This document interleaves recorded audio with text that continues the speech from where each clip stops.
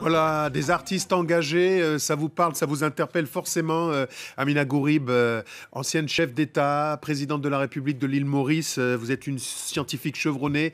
le monde entier connaît vos travaux, notamment en faveur de la connaissance des principes actifs des plantes, de ce qu'elles peuvent apporter au contribu en, termes de contribution au développement du continent. Vous êtes docteur en chimie organique, prix UNESCO pour les femmes et la science. vous allez nous parler aujourd'hui d'une initiative, vous êtes partie prenante d'Afro Champions euh, qui est une initiative euh, qui a impulsé euh, de nombreux projets. Et là, vous, allez nous parler de Boma of Africa, qui est un challenge ouvert aux créateurs, aux artistes du continent africain, les musiciens, les plasticiens, les dessinateurs, ouvert à la gastronomie. Ils doivent produire des, des scénarios pour le futur de l'Afrique. Il y a des grands débats autour de l'inclusion, de l'innovation et de l'intégration. Pouvez nous dire un mot sur ce concours, ce challenge qui met en avant la créativité de tout le continent?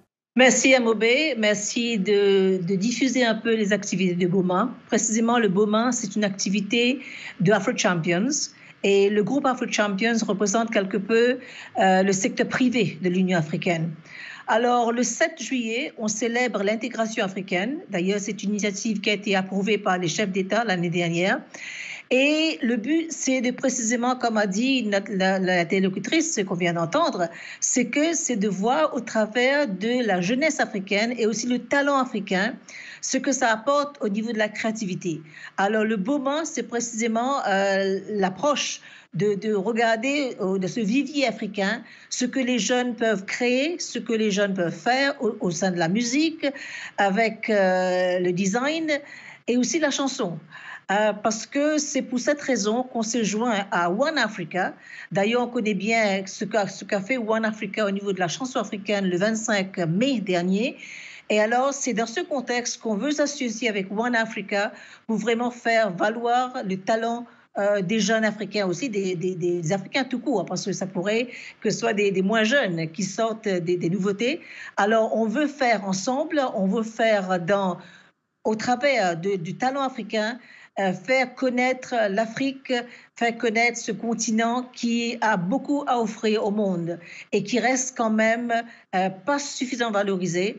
Alors, avec l'intégration africaine, on veut que ce continent émerge comme étant le vivier de talent et aussi le vivier de la science et aussi de la science au travers de ce qu'a contribué euh, nos, aînés. Voilà un petit peu ce qu'on veut faire avec One Africa et aussi le BOMA.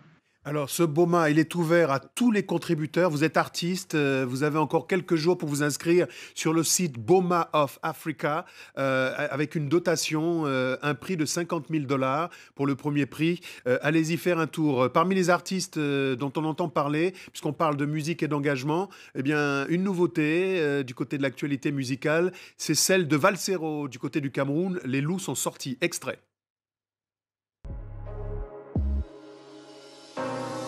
Je suis un loup, une bête, c'est système qui m'a créé. À force d'agression, j'ai fini par me rébeller. J'ai perdu mes ongles, à la place on poussait des griffes. J'ai perdu mon sourire, à la place y a plus qu'un rictus. Cherche plus l'homme que t'as connu, je l'ai laissé en tôle. J'ai libéré mon âme et mes faiblesses sont restées en tôle. J'ai échangé mon cœur de chair contre un cœur de pierre. J'ai noyé ma douceur dans de l'acide, mon frère, je suis en guerre. Je suis en guerre contre le système, des années que ça dure, j'ai des blessures quasi ouvertes.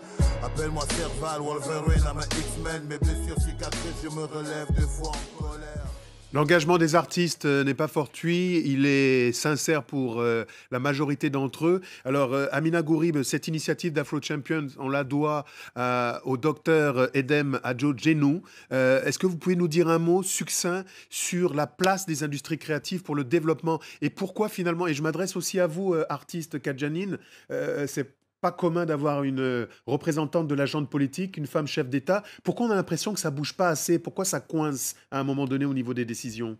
C'est un petit peu l'histoire euh, euh, de ce continent. Euh, et on, vit en ce moment les séquelles peut-être de cette histoire qui a été quand même assez pénible et où l'emphase n'a pas été suffisamment mise sur précisément le talent africain, le savoir-faire africain.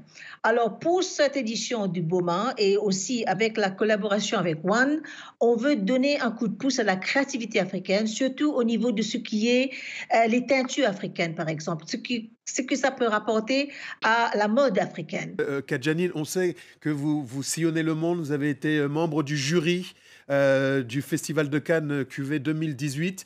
Euh, quel est le message que vous voulez adresser aux, dirigeants du continent, eu égard donc à la contribution des industries créatives pour le développement? Pour aller dans le sens de, de Madame, je pense que c'est une question d'ignorance.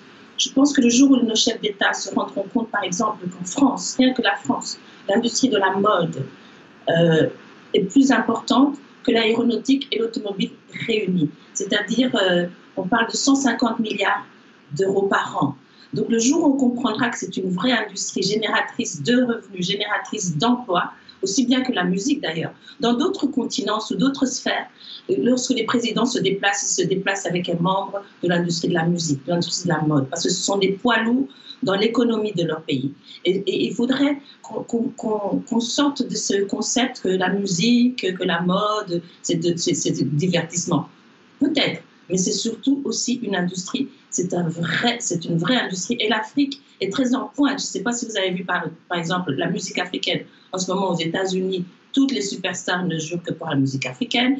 Tout le monde s'habille en, wax. Donc nous, on est en train de profiter de notre culture, de notre savoir-faire qui profite à d'autres. Je crois vraiment que nos dirigeants, je ne sais pas, on devrait les sensibiliser. Nous devrions faire une réunion avec nos dirigeants pour leur démontrer à quel point ces industries sont importantes et génératrices d'une économie stable et solide. Parce que la musique, la culture en général, c'est celle qui, qui fédère tout le monde. Et puis, les artistes sont les meilleurs ambassadeurs du continent. Ça, il faut le savoir.